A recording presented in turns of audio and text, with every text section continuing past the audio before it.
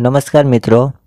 આજે આપણે ધોરણ બાર કોમર્સની અંદર જે તમને ગાલા અસાઇનમેન્ટની અંદર જે પ્રશ્નપત્ર આપેલા છે, એની અંદર આપણે વિષય એસપીની અંદર પ્રશ્નપત્ર એક છે, એની અંદર આપણે વિભાગ એનું સોલ્યુશન જોવાનું છે.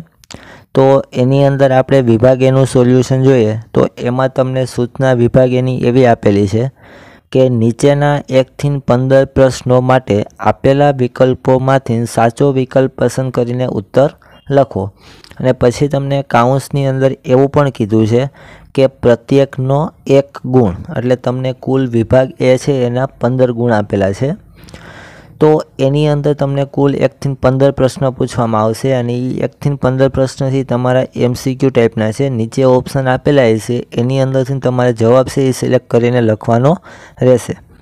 અને આગળ જોઈએ એમાં, તો એમાં તમને એવું પણ કીધું છે કે જે દરેક પ્રશ્ન છે એનો તમારો માર્ક છે, ગુણ જે છે એ કેટલા રહેશે? એક રહેશે. હવે એ આપણે વિભાગ એનું આપણે સોલ્યુશનની શરૂઆત કરીએ, તો સૌથી પહેલાં એમાં તમને પહેલો પ્રશ્ન છે એવો તમને કીધો છે એમાં. કે અગ્નિશામક દળની સેવા એ કેવી સેવા કહી શકાય? તો એનો જવાબ છે, એ આવશે ઓપ્શન બી, જાહેર ઉપયોગી.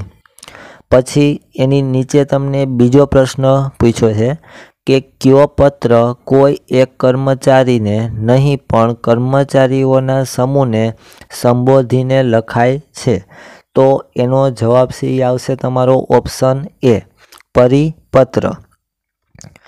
પછી નીચે તમને આગળ એમાં એવું પણ કીધું છે, પ્રશ્ન ત્રણ કરીને કે નિયુક્તના પત્રના અંતમાં શું પાઠવવામાં આવે છે? તો એનો જવાબ આવશે ઓપ્શન એ, શુભેચ્છા.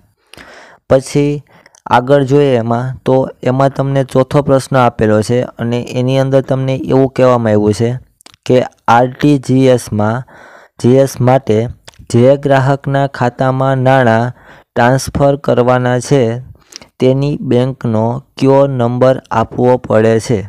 તો એની અંદર એટલે કે એનો જવાબ આવશે option D, I F S C code. પછી આગળ આપણે જોઈએ એમાં. તો એની અંદર તમને પાંચમો પ્રશ્ન પૂછ્યો છે અને એની અંદર તમને એવું કહેવામાં આવ્યું છે કે પ્રેઝન્ટેશનમાં કોણ કેન્દ્ર સ્થાને હોવું જોઈએ? તો એનો જવાબ છે ઓપ્શન એ, પ્રેક્ષકો.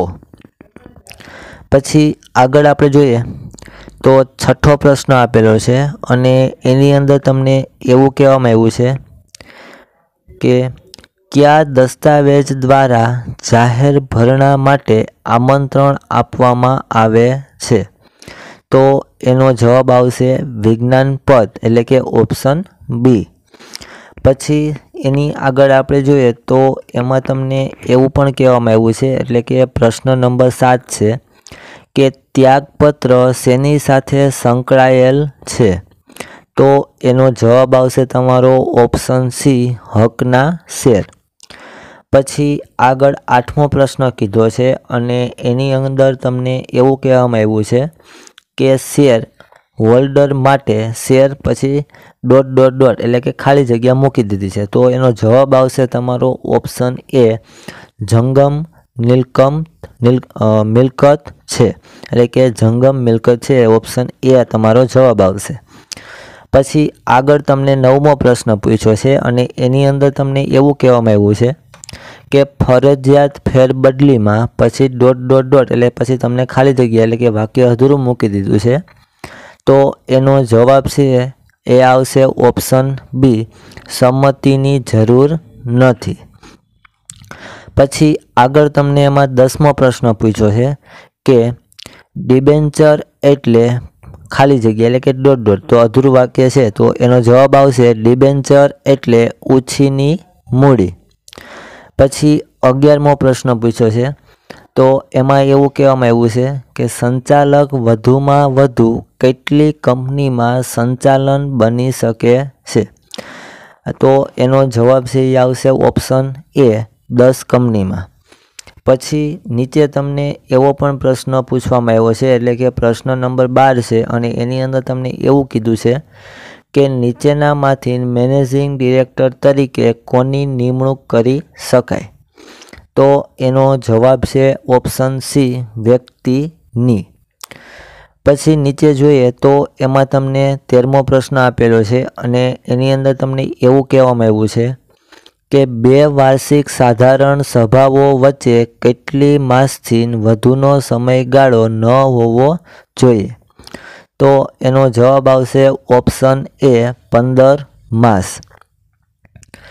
પછી આગળ ચૌદમો આપેલો છે અને એની અંદર તમને એવું કહેવામાં આવ્યું છે કે ખાસ ઠરાવની તરફેણમાં ઓછામાં ઓછા કેટલા સભ્યની બહુમતી આવશ્યક છે? તો એમાં જવાબ આવશે ઓપ્શન એ પંચોતેર ટકા. પછી આગળ તમને પંદરમો પ્રશ્ન પૂછ્યો છે અને એની અંદર તમને જવાબમાં એવું કીધું છે કે નોંધણીનું પ્રમાણપત્ર મળ્યા બાદ કંપની કેટલા વર્ષમાં ધંધો શરૂ ન કરે તો અદાલત ફરજાનો હુકમ કરી શકે, તો એનો જવાબ સી આવશે ઓપ્શન એ એક. તો મિત્રો, આ જે તમારું પ્રશ્નપત્ર એક હતું, એનો વિભાગ એનું સોલ્યુશન હતું. તો આ વીડિયો તમને પસંદ આવ્યો હોય, તો આ વિડીયોને શેર કરી દેજો. જેથી કરીને બીજા જે ધોરણ બાર કોમર્સના વિદ્યાર્થીઓ છે, એના સુધી આ વીડિયો છે એ પહોંચતો રહે અને સાથે સાથે આ ચેનલને સબસ્ક્રાઈબ પણ કરી દેજો, જેથી કરીને મારા કોઈ નવા વીડિયો છે, જે પ્રશ્નપત્ર છે, એ તમને મળતા રહે. Thank you